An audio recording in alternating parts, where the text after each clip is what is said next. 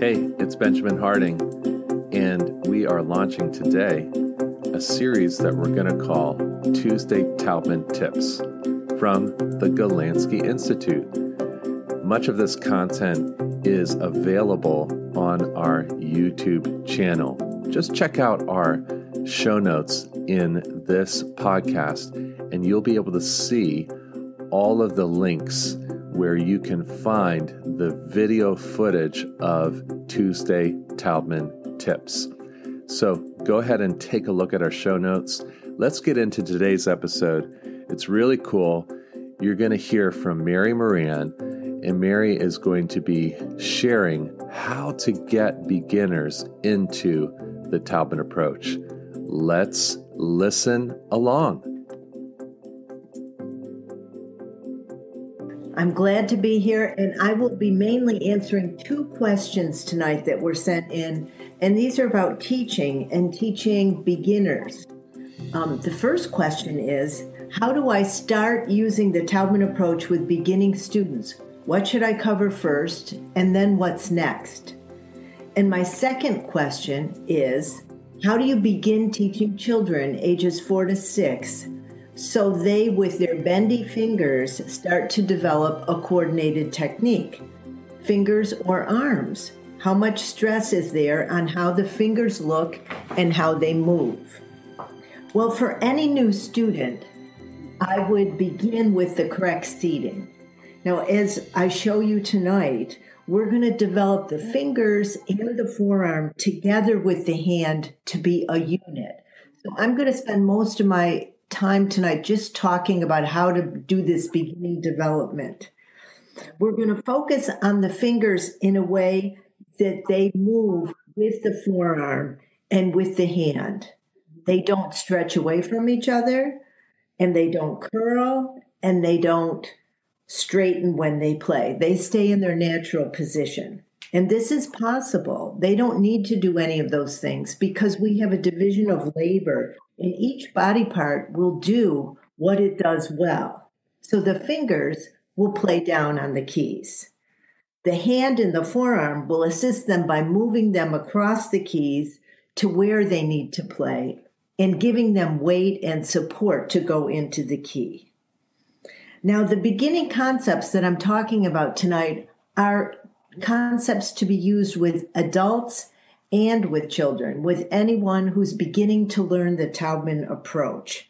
The difference with children is you have to stick this in in between how to read notes, how to read rhythms, how to do music theory. So you have a bigger job in a sense when you're teaching children.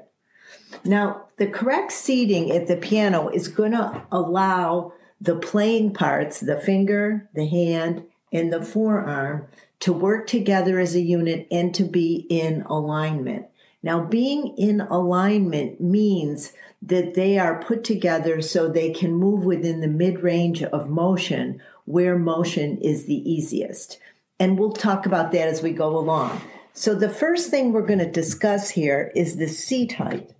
Okay, when you sit someone at the piano, you want to make sure that their forearm and elbow are level with the top of the keys the top of the white keys before they're depressed. Okay, so this is where mine is right here. Now, if they sit too low, I'll take my seat pads out, you can see then everything is falling back towards your body, which doesn't give you the support we're talking about.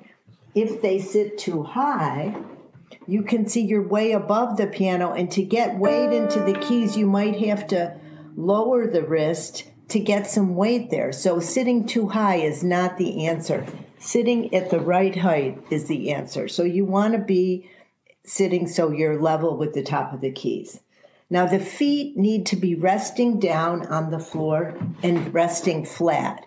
With children, you're going to have to make sure that their feet are on a footrest and they're resting flat. You don't want feet kicking in different directions. I had one student once, she was a ballet student. She wanted to do ballet dancing with her feet while she played the piano. And I had to constantly have her just flatten her feet so and rest them down. So you want to keep checking that. Now, distance from the piano is very important. You don't want to be too far away so that the arms are straight. As Mrs. Taubman said once, you have to have an elbow, and you don't want to be too close where you you're in the way of yourself. So you want to be so you have this kind of an angle with your arm. Okay, your torso's in between. Your arms are just at your sides. Your elbows are not held out and your elbows also are not falling in. They're just where they are. Okay. So you want to make sure of that. Now, another thing you want to check with your students is that they're not sitting all the way back on the bench like this. They, some of mine in the beginning, they want to sit back and pull their chair in as if they're at the dinner table. And you don't want to do that. You want them to feel only half of themselves on the bench. You're only on the front half of the bench. That works much, much better and helps you be free in your torso to move around. Now, the torso position has to be allow your finger, hand, and arm to move around the piano. So you have to sit up straight, but not in a rigid way because you have to be able to move to the sides, in and out with with your torso. You also can't be slouching and watch for that with your students. They like to slouch. Now, when you have the torso correct, then the shoulders are just stable points, which are where they are. They're not held up, they're not pushed down so that they don't go up. They're just exist where they are. Now, when all of these are correct, your student will be able to sit at the piano and feel that they're resting in three places. They're resting on their feet, they're resting on their seat, and they're resting on their hands. Their torso is a little bit, um, has a small feeling of being forward. It's connected to the instrument. It's not sitting back like this where you don't feel involved. It's when you're sitting forward, you and the instrument almost become one. So you want to make sure you have that. After you do that, you can start to talk about hand position. Now, the hand position, we're going to, is the way your hand is when it's at the side of your body. You can just let your arm go down and feel free and pick it up. That's our natural hand position. And you could just see Edna's at the piano. Um, the fingers are not held in any way. They're not held apart. They're not pulled together. They're just where they are. And you can see they're not curled, they're not straightening, they're not stretching, they're just where they are. Okay, now when you put them on the piano, I'll give you the overhead camera so you can see this. When you put that hand on the piano, what you're going to see for people with smallish hands and for children is their hand will probably take up only four white keys. It won't take up five. Mine takes up four white keys. If I really just come and I put my hand on in the natural position. So you can see now, if I try to put my hand over five white keys, I am using my muscles to open my hand. And when I want to move my fingers up and down, they feel tense because I'm using those muscles. When I have it in the natural position and I'm only covering four keys, my fingers move very easily. So you should try that test. Open them, and move them and then let them be natural and move them. And you'll see when you're not doing anything, they'll feel so much better. Now, the other thing you need to look at when you look at the hand in the natural position is that some of our fingers are longer than others. We have, as Edna was saying, we have the thumb is the shortest and five is short, and two, three, and four are longer. So with an adult hand, it, when you put it on the piano, you can see these fingers. Finger three is in the black key area, and two and four are right there.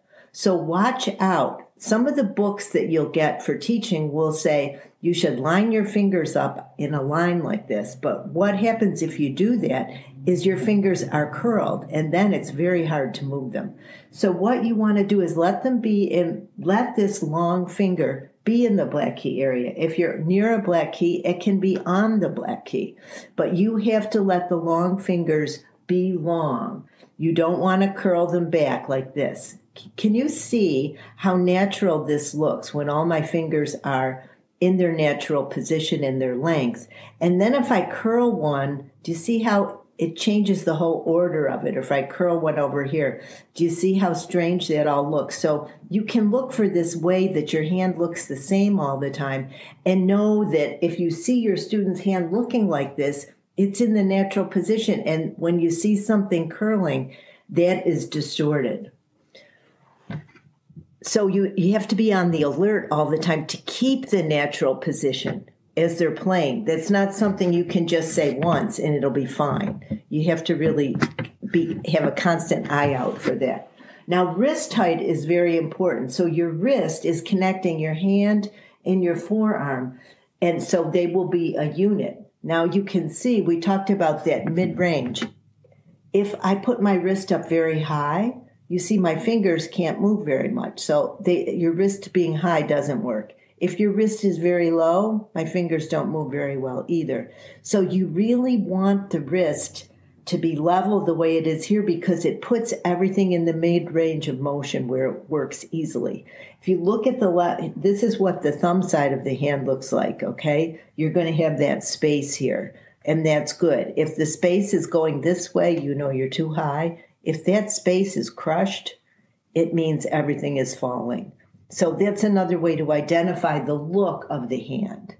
Now we have knuckles in our hands. We in, in, fingers two, three, four, and five each have three knuckles. You have the main knuckle here, you have the middle knuckle here, and you have the nail joint knuckles here. Now the main knuckle is pretty much parallel right here with the hand in the wrist. Again, it doesn't go up high like this, and that main knuckle doesn't go down. All right. The other two knuckles, the middle knuckle and the nail joint knuckles, these are just where they are when your hand is in its natural position. So, what you have to do is make sure there's no tension in the hand and just look at it like this and put your hand on. Now, these knuckles will not be supported if the body is pulling away from the keys. Do you see that? Everything flattens out. So, you have to make sure that the body position at the piano stays correct to give the knuckles the support that they need and to give the hand everything the support it needs to keep it on the piano. Again, I'm not holding or doing anything. Everything is just staying here. Now the thumb has two knuckles. You can see I have this knuckle here, which is called the MCP, and this is the nail joint knuckle. Let me show you that from the top. It might be a little bit more helpful. Okay, so here there's one, two knuckles in the thumb. You can see it in this hand. One, two. They're not really pronounced, but they're there. Now, children have very can have very pudgy, fatty little hands, and so you might think that they don't have knuckles. Sometimes it looks like they have little dimples, but what they do have knuckles, and sometimes if you just touch, and if you're doing virtual lessons, you can ask their parents just feel this and feel if you can feel the bone there. Okay, then that's that's all you need. So you can just do a feeling test on it. And again, check the body positioning to make sure that that's right. Once students get this balance in the again with their hands and now we have the wrist in the natural hand position, sometimes it's good to have them on the black key. They should just be able to sit here and feel like they're in balance. Okay, now let's talk about movement because that's what we're going to do when we get to the piano. We're going to move.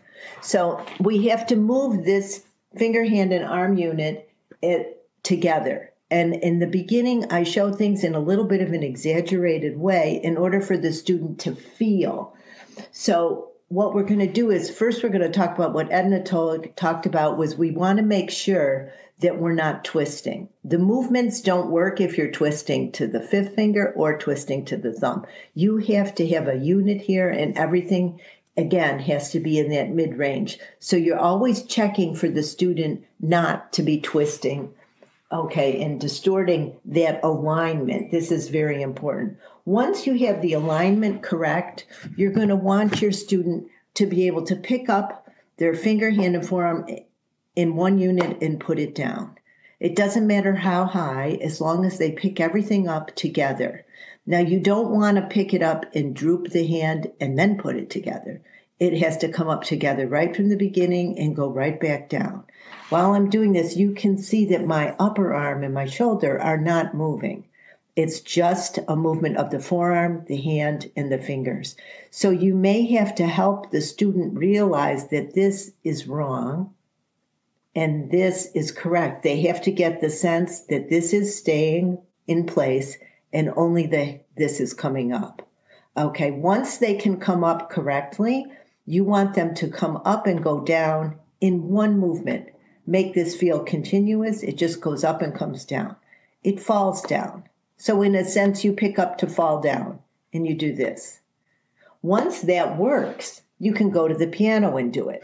Okay. And what you're going to do is pick up that same way, fall down on a finger. So I just fell down on my second finger. Okay. So we want that dropping. It's very easy. You just go up and come down. It's not far from the key. I do it on every finger. Now, what's interesting while I'm doing it is that my fingers are not pulling away Nobody's curling. They're not, I'm not letting the, the students, sometimes they like to put the other fingers away. You have to keep them all together. So they're there. Let me show you from the top. Um, that even if you change fingers, I can change to three, change to four. Do you see the whole the whole unit comes with me? So I get so they can play they can drop on fingers very well. The, the wrist stays at the correct height. The fingers don't move away from each other. They all stay together. And in the beginning, sometimes I have them play little songs with dropping. And I do this just because I want them to be able to move with different fingers to different keys and continually be aligning the fingers and the forearm on different keys. So I might be going or I'm gonna. You see, everything moved together. I didn't reach, I moved the whole unit. Okay, so moving everything as a unit is really important. Also, feeling very free when you do this. Okay, it should feel very free, it should feel very light, and I should feel the correct landing on every finger as I play. It's important for students to be able to find the correct landing on every finger before um, before they play. Connected. They need to find it dropping. Now we're going to talk about forearm rotation next for a minute. We have a couple more minutes here, and when you're beginning to learn forearm rotation, again, you have to have this unit and you cannot have any twisting. It has to move in one piece. Why do we rotate? Okay. Some people ask me that. So let's see. The free turning of the forearm makes it possible for the fingers to lift. Watch this. I rotated to the left on five and I lifted all my fingers and it was totally effortless. Okay. Rotation provides the movement for me to go across to the another key and I don't stretch. I just I everything is here, everything is here. There's no stretching involved. Now, the other thing is the arm gives weight and support to the fingers as they play. It's very easy to make all the fingers equal because it's always the same arm coming down with the fingers. Okay, so how do we rotate? Let's pick up your right hand and forearm in one piece in front of your body like this. Okay? And have your palm, and the underside of your arm facing the floor. Then turn from the back of the forearm and have them face your torso. Turn back. So you can continually go back and forth like this so that you move in one piece. You can see that the back of my forearm is moving as well as my hand. That's what you want to make sure you have that easy turning and have students do it enough that they feel the easy turning. Okay, then you can pick up and do this on the keys. Here I, I'll do it with this hand. Okay, so I can pick up and turn and drop on a finger. You see? I can do it very close to the key. See how small it is? And I can do three this way, four, Now, when I'm, I was just rotating to the right on all of those. To the right, to the right, to the right. The thumb goes to the right in the left hand. It's on the end of the hand, so it, the thumb in the left hand cannot go to the left. It has to go to the right. But the fifth finger is going to go to the left. Okay? So if I want to play five notes together like that, the five plays to the left, and then the other fingers are going to play to the right. Notice when I do this that each finger lands in its natural position and the fingers don't change. There's no pulling away from each other, there's no stretching, and there's no curling.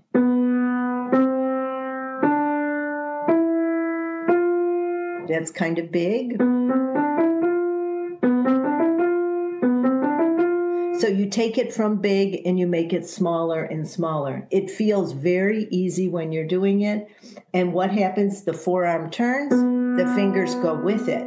Rotation allows them all to move across and come down. The finger just played. The arm doesn't play, the finger plays, but the arm brought it to the key. Okay? Everything lands solid and straight. So that is the basics of forearm rotation. So I hope that opens a window for you. I would recommend that if you want to be able to teach this, you need to be working, as Edna said, with an expert Taubman teacher who's well trained so they can make sure that you're putting the movements in your body well and that you can illustrate and see all the things that you need to in doing this. The next um, session, I'll continue with talking about joints that are collapsing and talking about how to make your students expressive. So I'm sorry I didn't get to that tonight. And now I'm going to pass everything over to Bob. Thanks for your attention. Great to see you.